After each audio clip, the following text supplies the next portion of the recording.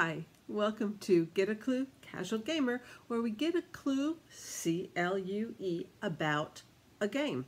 And today we're looking at guillotine. Mm, Let me close this box for you. There we go. Guillotine. C, C for components, L for length, U for uniqueness, E for ease, C for components. What am I going to find when I open this box? Well, first of all, you can tell it's a small box, not big at all. And inside of it, half of the box is taken up by this guillotine.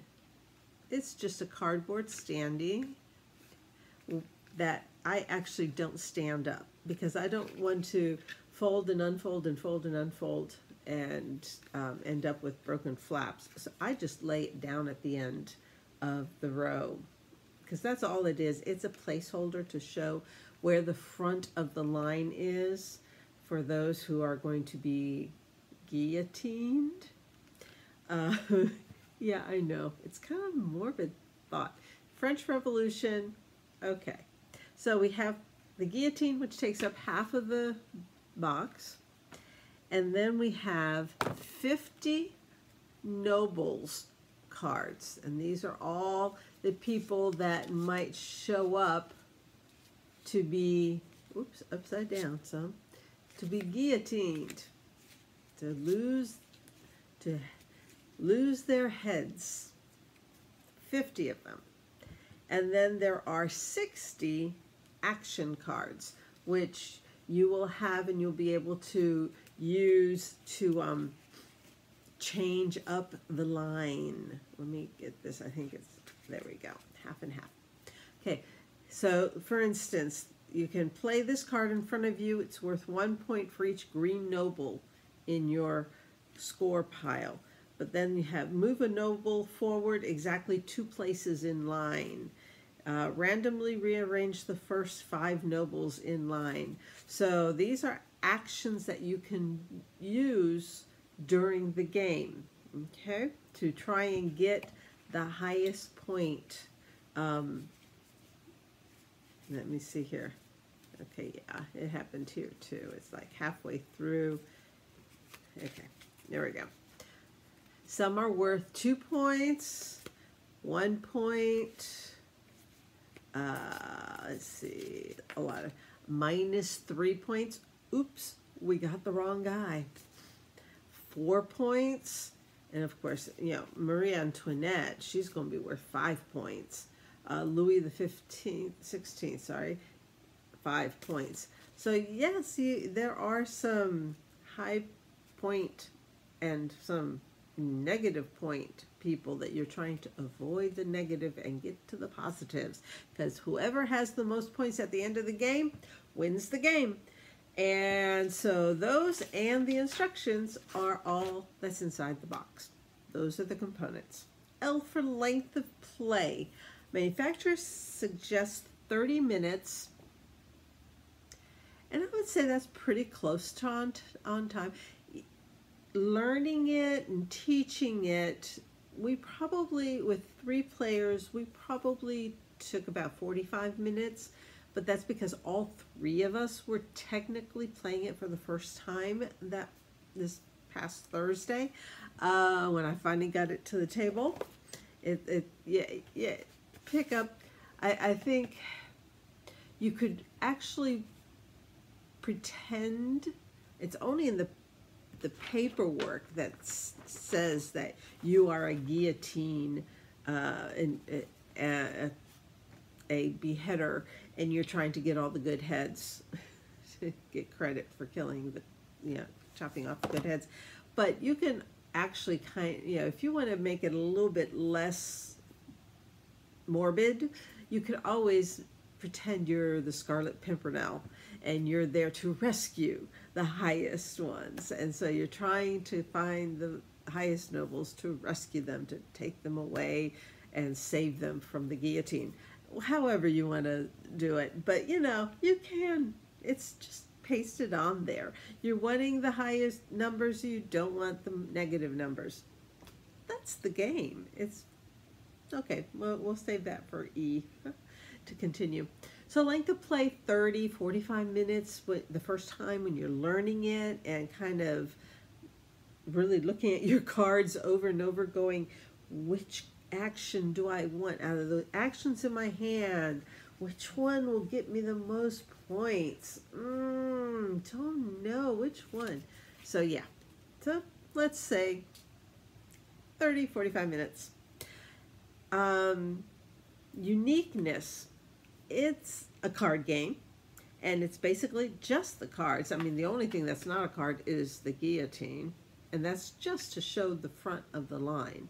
Who's the closest? Whoever's right next to it is the card that you have to take at the end of your turn. So that's why you want to make sure that it's not a negative and try and get a higher number positive there so that you can take that one at the, you know before it's somebody else's turn. Um, but it's basically cards, the nobles, and the actions. That's it.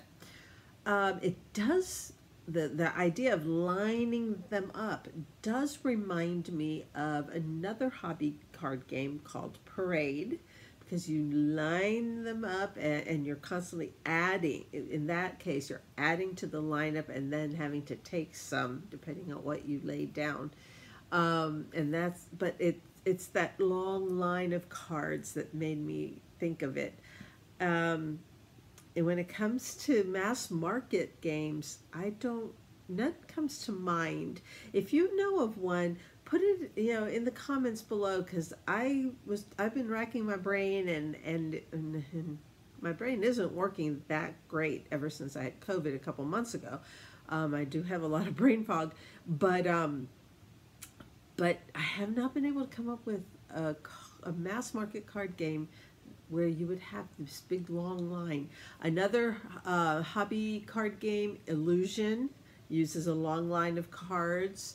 Um, games like, um, not Chrononauts, um, but uh, Timeline. Timeline, you're putting things in date order in a long line. So there are a lot of hobby games that use that concept of a long line of cards as part of the game but mass market wise, I'm not sure if I know of any. So if you're kind of in the hobby or been in the hobby or I, I know that I've done uh, a video, in fact, it was number 11. I looked it up. Number 11 is my video about the card game Parade. Um, not sure if I did. I didn't check to see if I've done one on Illusion. I know I've mentioned Illusion on some of my lists, maybe the top 10 card games or something like that. Top 20, top 10, I think I did a top 10 card game. Uh, or spice your, you know, spice your, so yeah, spice up your gaming with some card games. I, yeah, I think it, I mentioned it in that one. Anyway, um, so that's uniqueness, ease, uh, ease, yeah, I found it in two places online. Um, it has been around since 1998.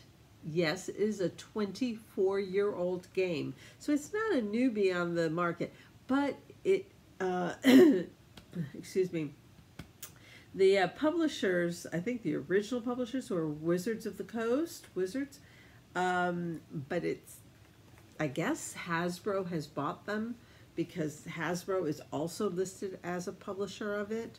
So I think that's why it's easier to find.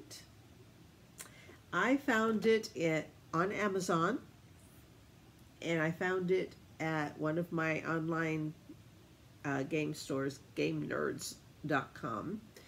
And um, if the channel, if you look at the description, arrow, pull up the description of this channel, I have listed the main websites that I check, at, eh, you know, for game purchasing and stuff, so that you can just follow the links. And I, they are not um, linked to me in any way. I make no money. I am not this. I am not a content creator making money off of this. I'm just doing it for the fun of it because I like this. I look I love games and I want people to know about them and enjoy them as well. Um, okay, so Amazon is selling it for $11.99, $12. And GameNerdz is selling it for $10.47 or $10.50 plus usually you'll have to pay shipping with GameNerdz. Um, it is probably found in your local game store, your friendly local game store, or flags, uh, because it has been around and it keeps on ticking, you know, kind of like Timex. Uh, it's been around for a while and it just keeps on keeping on. And uh, it's a cute game, it's a fun game, it's an easy game. Uh, I, really, it, if you can get past the concept of being the guillotine operator, um, yeah. It, it, like they say, it's an irreverent and humorous card game that takes place during the French Revolution. Players represent via, via, mm, rival guillotine operators vying for the best collection of noble heads over three rounds. Um, but like I said, you can always pretend to be the Scarlet Pimpernel trying to save the uh, nobles from the guillotine. Either way, it's still the same game. It's still fun and silly. And so there you have it. That is getting a clue about guillotine. I hope this gave you an idea. And um, I'll see you next time. God bless you and your family. Happy gaming. Until next, bye.